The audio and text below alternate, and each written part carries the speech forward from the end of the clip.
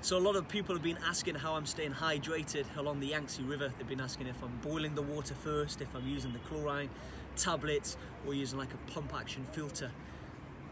I'm actually using the water to go bottle. I've used it across Mongolia, deserts, jungles across Madagascar.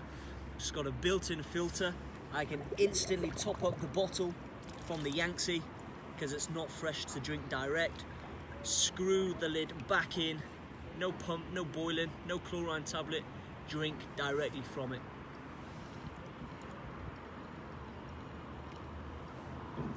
And that's how I'm staying hydrated.